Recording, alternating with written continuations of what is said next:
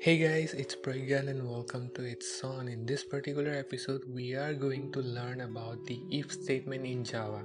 If is a conditional branching statement which allows you to do specific action in according to some condition. Now for this tutorial, I have actually made extensive use of the scanner class in Java so if you haven't watched my previous video on scanner, I will suggest you do that before because it will help you understand better. Now I have imported the scanner and have created an object in with the scanner class. Now to demonstrate what exactly is the if statement used for, I am going to use a variable called the int age.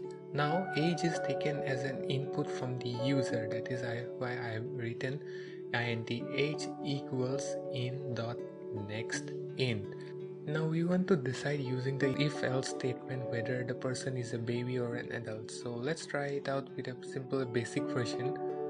If we do not use an if-else statement, then there are no conditional branching. As we can see from the compiled results here, even if I put a value 78, it is going to print baby.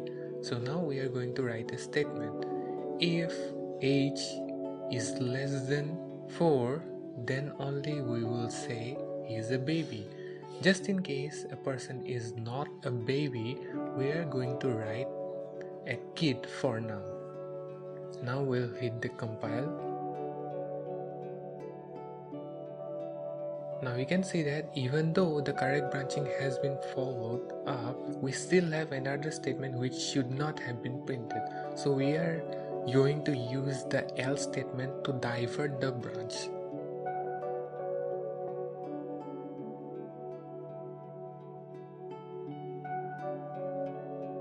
Now we can see that if age is less than 4 then only the baby branch is going to be evaluated. Else only the kid branch is going to be executed.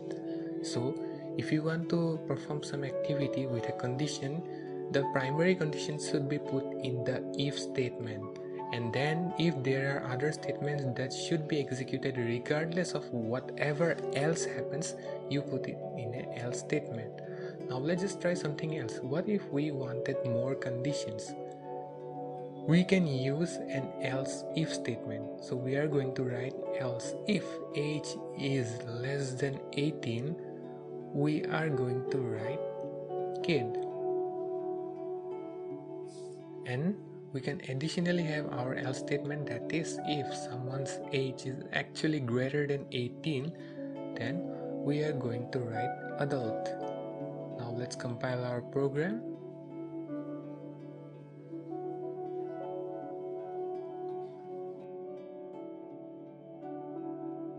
We'll put our age, let's just say 11, it shows kid. Then we'll try out another one, we'll try 25, it shows adult.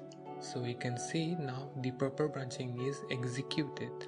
Now there may be as many else if statements as you want so it is not necessary that you can only have once one else if statement. Also for any if statement the else if and the else parts are not compulsory.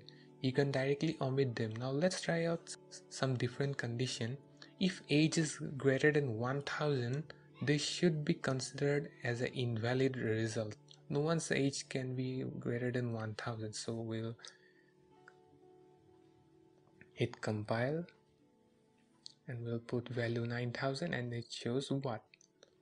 And if you have to check the other cases let's just say 46 adult. So this is actually working.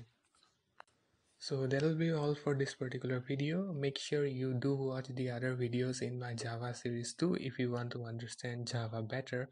Also don't forget to subscribe to my channel because that will help you stay updated on the newer videos as i upload them